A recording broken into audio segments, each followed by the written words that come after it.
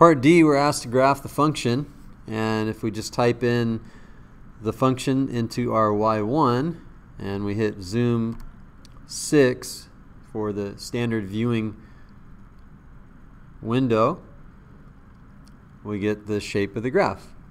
And it says for what, so for part E, so we get the shape of the graph, and then for part E, it's asking us to find for what values of x is d the smallest.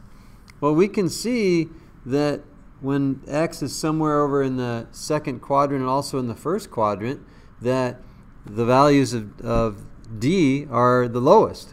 So if we do second calculate minimum, we move the cursor to the left of that low point in the second quadrant, mark it with enter, then move the cursor to the right side of that low point, mark it with enter, and then guess, move the cursor back in between the two, and we see that when x is equal to negative 2.55, negative 2.55 would be one value, and most likely if it's, uh, it's going to be 2.55 on the right hand side, but just to confirm, second calculate minimum, number three, and we move the cursor over. Here's a quicker way to do it, left bound type 1, enter right bound type 4, enter.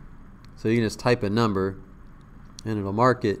And then if you guess, let's guess 3, somewhere in between 1 and 4, and, and sure enough we have 2.55 as well, 2.55. So we can see that when x is equal to either negative 2.55 or 2.55, the distance between the point on that curve, y equals x squared minus 8, and the point 0, negative 1 is at a minimum.